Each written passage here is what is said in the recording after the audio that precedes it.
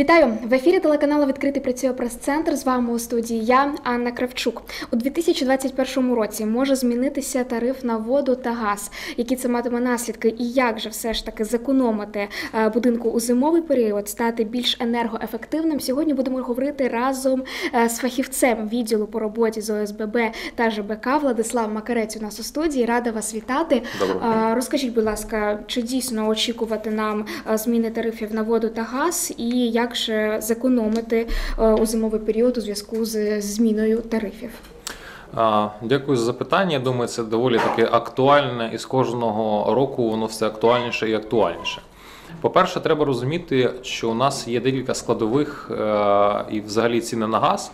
Коли ми чуємо, що газ підніметься, потрібно розуміти, для кого він підніметься. У нас є побутові споживачі, у нас є комерційні споживачі. Тобто пересічний громадянин він платить за газ, по-перше, або коли його е, споживає в- на побутовому рівні, е, або коли в- опосередковано через енергоносії, через опалення, коли отримують е, тепло через котельні, котельні за- закупляють газ. е, І тоді вже з цієї ціни формується взагалі вартість е, платіжок на тепло. Тому треба розділяти ці дві поняття, і коли ми будемо чути, що у нас піднімається тепло, е, піднімається вартість е, газу, потрібно розуміти, для кого це піднімається. Е, Якщо ми кажемо про юридичних осіб споживачів газу, дійсно недавно нещодавно Нафтогаз підняв свої тарифи. НКРЄКП через це перерахувало вартість на опалення в деяких в деяких ком- компаніях там по різним регіонах, там, наприклад, в Кривому Розі, в Харкові, в Києві піднявся тариф. В Дніпрі він не піднімається. Е, На даному е, етапі ми домоглися енергоефективності саме обладнання, встановлення е, теплових насосів, модернізацію котлів для того, щоб компенсувати ці піднятий е, тариф НКРЄКП для юридичних осіб. Для побутових е, споживачів е, варто сказати, що у нас з літа діє відкритий ринок. На ринку енергоносіїв, і тому у нас е, ми бачимо дві платіжки. Дві платіжки це спершу здавалося незручність, що я платив там за газ, а ще й додаткову платіжку. Насправді це можливість е, дійсно платити менше. Оскільки у нас в природній монополії лишилися, е, лишилися газові мережі, оператори га- газових мереж. В Дніпрі це Дніпрогаз, він оператор газової мережі. І він просто його завдання і функція транспортувати газ від точки А до, до, побутового, до побутового споживача. Е, коли ми говоримо про е, саме е, купівлю газу, у нас на, на ринку, так як він відкритий, 55 компаній, які продають газ. Тобто ви можете купити, будучи в Дніпрі, купити е, газу в Києві, в Житомирі, в Івано-Франківську, в Ужгороді, де б це не було, компанія не була. За рахунок перерозподілів внутрішніх, там з одних резервів перекачуються в інші, для вас це непомітно, для вас він просто надходить, і ви е, дешевше купляєте. Тобто зараз важливо зрозуміти, що монополії на ринку е, газу немає. І кожен, е, кожен співвласник, кожен житель може змінити собі компанію. До прикладу, тариф наш е, Дніпрогазбуту е, трошки більше 8 гривень. Якщо ми оцінимо е, пропозиції е, того ж Нафтогазу, який безпосередньо є видобувачем е, української сировини, українських родовищ, там тариф трошки більше 6 гривень. Тобто ми вже бачимо просто різницю в цінах. Можна змінити надавача послуг в- купувати газ у іншого, або через оформити документи через відповідний через відповідний е, вебсайт кожного надавача послуг, або через там Приват24, коли є функція змінити е, поставщика е, послуг. Тобто це доволі таке просте питання. Це якщо ми беремо побутового споживача. З іншої сторони, для юридичних осіб ця ціна диктується знову ж таки НКРЄКП для теплових е, теплопунктів, для комунальних підприємств, які обслуговують там інфраструктуру пов'язану з е, теплом. І вона дійсно, е, скоріш за все, буде підніматися там наступних років. Цього року, на, щастя, в нас буде все в рамках такого сталого тарифу. Для того, щоб зекономити в майбутньому, саме простіше просто менше споживати. Як ми можемо менше споживати?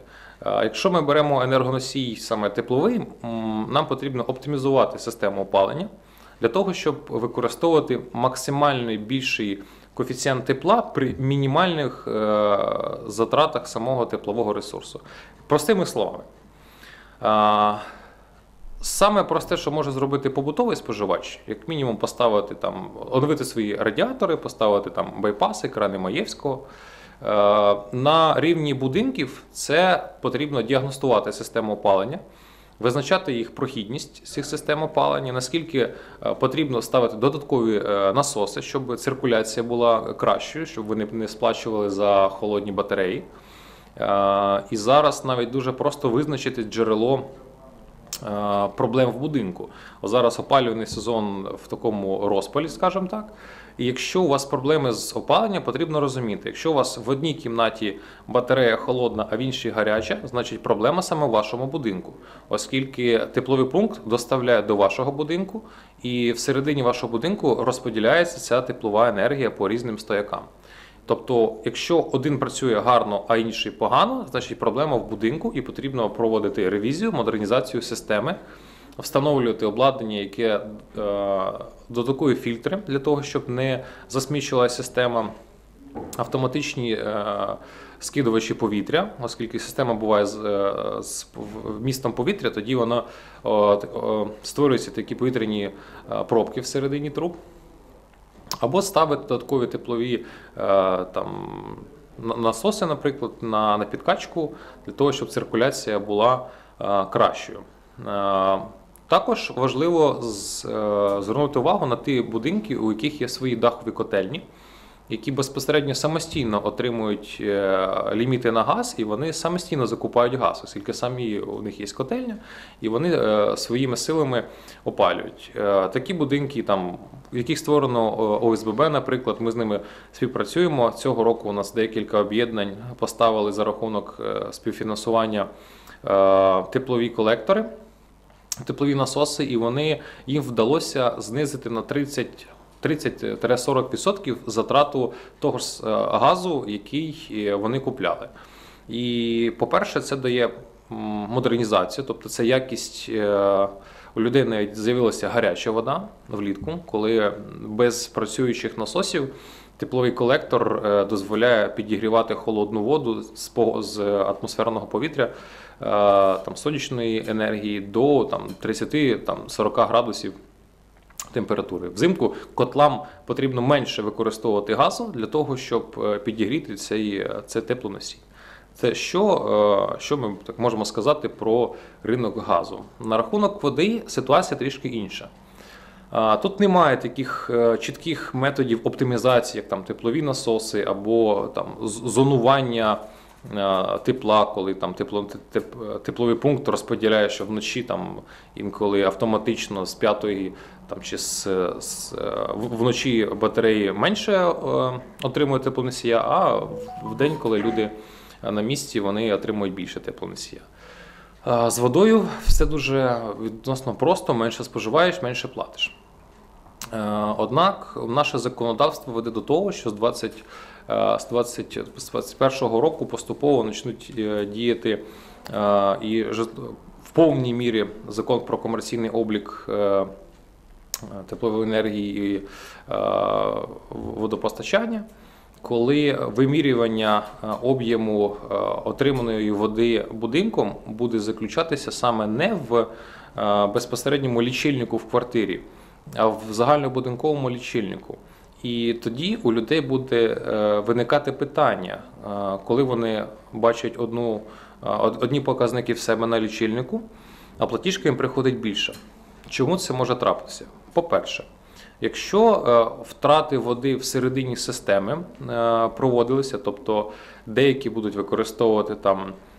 Як ми зараз інколи бачимо, що поливають е, прибудинкову територію, просто кидають шланг і поливають місто, там заливають е, ці е, квіти, асфальт весь плаває.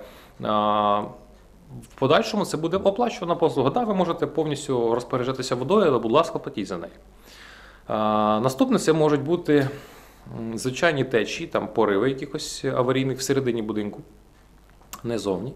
А, Або інколи, коли там промивка системи здійснюється, або дехто зливає е, воду просто. Тому ви маєте розуміти, що ми йдемо до того, що всі ресурси, які ми витрачаємо, ми маємо їх оплачувати.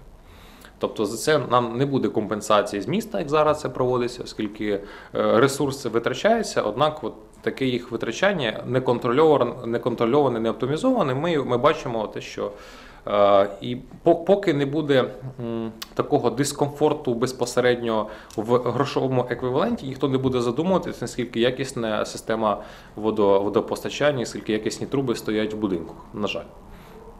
Але ми до цього йдемо і, е, і розуміємо, що з кожним роком це все буде е, актуальніше і актуальніше. Енергоефективність е, не лише в плані використання там теплової енергії газу, а просто економії використання тої води, просто яка заходить. Щодо формування тарифу, щоб бути в курсі всіх тарифів на житлово-комунальні послуги, достатньо заходити на сайт НКРЄКП Національної комісії з регулювання енергетичних ресурсів комунальних послуг для того, щоб бачити, які тарифи зараз, які вони будуть е, в майбутньому, попередні е, обговорення тарифів, там погоджувальні ради. Е, На даний момент у нас е, немає таких та, від, від- відкритих е, обговорень щодо підняття тарифів щодо, щодо води, поки, поки, поки на сталому рівні. Однак, щоб бути в курсі або там, слідкувати там, за новинами, або самостійно перевіряти на сайті НКРЄКП потрібно. Дякую. Запитання будуть? Так, а ось якщо я хочу змінити постачальника газу, але, наприклад, там інші співмешканці ОСББ проти, тобто я вже не можу цього зробити. Можете. так а, ну газ же він так е, системою підведений. А, Як це у- буде працювати? У нас є е, особові рахунки на електропостачання, на водопостачання, е, на водовідведення і на газ. ОСББ, ЖБК або управитель, будь-хто, хто займається будинком, не має жодного відношення до тої комунальної послуги, яка отримується самим споживачем. Завдання ОСББ утримувати у належному стані внутрішньобудинкові комунікації. І аж ніяк воно не впливає на в кого ви купляєте е, той товар чи послугу, яка до вас іде. І, е, по-перше, ні споживач не може звертатися до ОСББ щодо е, захисту якихось своїх там прав інтересів, ні ОСББ не впливає на взаємовідношення між компанією і безпосереднім отримувачем, отримувачем цієї послуги. Тому в будинку на 100 квартир, от у нас є 55 компаній. Уявимо, е, що в нас є будинок з 55 споживачами, і кожен із них може вибрати свою компанію. То 55 е, співвласників вибрали 55 різних компаній, і до ОСББ це абсолютно ніякого відношення немає. Тобто ви можете самостійно е, будь-яку компанію вибрати, ніхто про це навіть знати не буде, крім вас. Ну, так, е, у мене таке просто спрощене уявлення, що є така труба. Труба є, Ну так, а газ буде Тому від різних компаній. Там ну, Газ буде один і той самий. А, якщо трішки ускладнити, ви можете навіть газ купувати за кордоном в Польщі, якщо ви захочете. А, тому у нас є дві платіжки. Ота труба, про яку ви уявляєте, це той природний монополіст, е, та платіжка за транспортування. Тобто завдання цієї компанії транспортувати і все. Що, що вона буде транспортувати? Ну, якби газ. Чий газ вона буде транспортувати, і все рівно. Ви купляєте у когось е, газ, скраплений газ, в нього відповідні стандарти е, і е, там форми якості. У кожної компанії є свої резервуари. Коли ви фізично знаходитесь в одному місті, в Дніпрі, наприклад, і в компанії Дніпрогазбуту свої резервуари.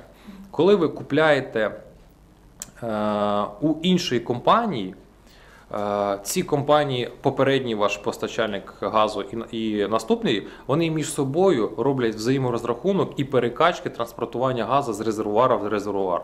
Тобто ви цього не знаєте, але ви купили газ той самий за фактом. Однак той же е, той газ, що ви забрали з резервуару Дніпрогазу, компенсується в цей же резервуар Нафтогазом, наприклад. От така, с- ну, для вас це е, все простіше виглядає. Ви там відкрили е, чи подали заявку в елект- в електронному вигляді, чи Приват 24 відкрили, змінили постачальника, і через там, там декілька тижнів у вас е, той самий газ, який ви до цього от- отримували, тільки за зменшеною ціною, і інша компанія вам виставляє рахунок. А вже між собою ці компанії роблять перетоки через е, газових по газовим сховищам і компенсують свої там взаємозатрати. А труба одна й та сама. Тому ви платите окрему платіжку за транспортування і окремо за газ, який ви купляєте. Це- Е, Отже, якщо от підсумувати всю нашу прес-конференцію, що ми можемо сказати, які у Дніпрян на сьогодні є можливості для економії? От якщо так коротко, тезисно. Коротко, перше, оптимізувати, по-перше, свої, е, свої е, комунікації. Це там чи самостійно, через програми співфінансування, щоб їхні комунікації, по-перше, е, максимально ефективно використовували той ресурс. І можна було контролювати і обліковувати. Це і встановка індивідуальних теплових пунктів, і заміна рамок опалення, е, і, встановлення теплових е, насосів, теплових колекторів чи нових котлів е, в будинкових котельнях. Просто оновлення інфраструктури. Перша частина це для юридичних осіб, для управителів, для ОСББ. Друга частина для населення. Знову ж таки, робота з своїми е, внутрішніми там радіаторами, щоб вони були ефективними, щоб не було е, повітря в системі, е, щоб циркуляція була нормальна, щоб можна було його скинути.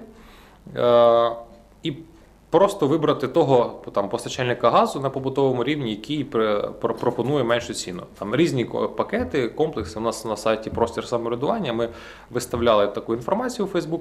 Можна подивитися, які компанії, які пакети пропонують, щоб е, подивитися ринок газу.